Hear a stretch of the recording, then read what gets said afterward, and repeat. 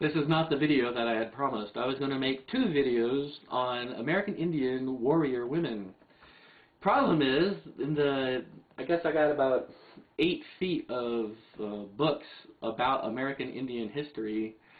The authors did not see fit, most of them, to propagate the oral tradition and the um, history of written by others of warrior women in their books that I have here at the ranch. And the internet is not a whole lot of help. I can only find two uh, American Indian women whose profession, whose livelihood was war. Not, not only did they fight in battles, but they led battles.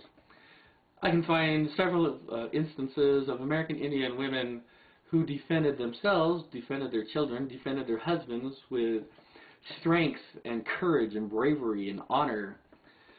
But actual warrior women, damn hard to um, find. The reason I am making this video, and uh, I have been putting off making a video because I've been extremely busy uh, preparing for winter. Some clown by the name of forchrst here on YouTube has made a video called The Existence of God Proven not just evidence for a God, but proof of a God existing. Mathematical proof. Um, and if you are looking for evidence that a God exists, let alone proof, if you watch this video, you will be sorely disappointed like I was. The arguments, not evidence, that this clown presents are ancient. Uh, Thomas Aquinas uh, made these arguments and were soundly refuted again and again and again over the decades. But these clowns never learn from, you know, history, the even recent history. For instance, this clown says that the universe must have had a creator, and since only a God could create the universe, therefore a God exists. that means that the Big Bang is this clown's God. You know, you can't say, one cannot legitimately say, that the universe was created. One can say the universe is being created because we can see it is still being created. And we also know that the creator is called Mr. Big Bang, or if you like, Ms. Big Bang. the creation of the universe is being uh, uh, performed, done, is in the process right now due to the four forces in the universe. The gravity, and I mean gravity, the electromagnetic force, the weak nuclear interaction, and the strong nuclear interaction. To say the, the universe was created is wrong! One can say the universe is being created. So this clown's God is the Big Bang. He then goes on to an argument that I've seen uh, 30 years ago.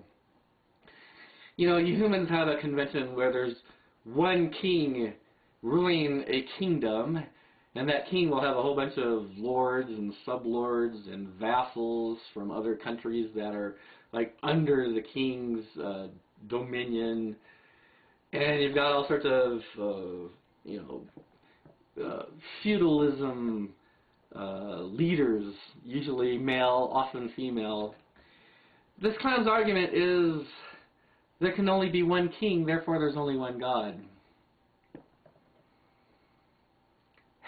You know the arrogance and the hubris of a human being specifically this clown, for care First, taking human words and human concepts and human behavior and projecting it out onto an infinite being that is so powerful and omnipresent and omnipotent that it could create an entire universe, many billions of light years across, and very complicated in its simplicity. You know, the universe is extremely simple. Uh, the arrogance of that, the the human uh, hubris of projecting one's own beliefs onto an omnipotent uh, in uh, God. If this clown doesn't see what he's doing, you know, if there was a God, you know, the Greek gods, the just about the only uh, sin that the Greek gods punished was hubris, was assigning a, a person would take credit for what a god had uh, achieved.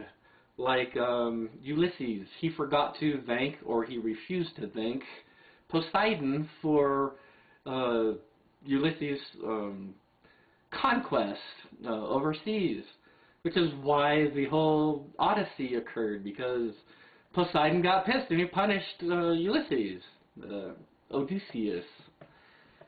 And this clown is doing the same thing. He's projecting his own humanity onto a god, which he says there's only one, and his logic for that is just, you know, pure bullshit. So, if you were looking for evidence that a God exists, you will be just as disappointed as I am after watching this video. I'll put the link up here in this video's description for that video. So, so far, no evidence, no evidence that the gods exist.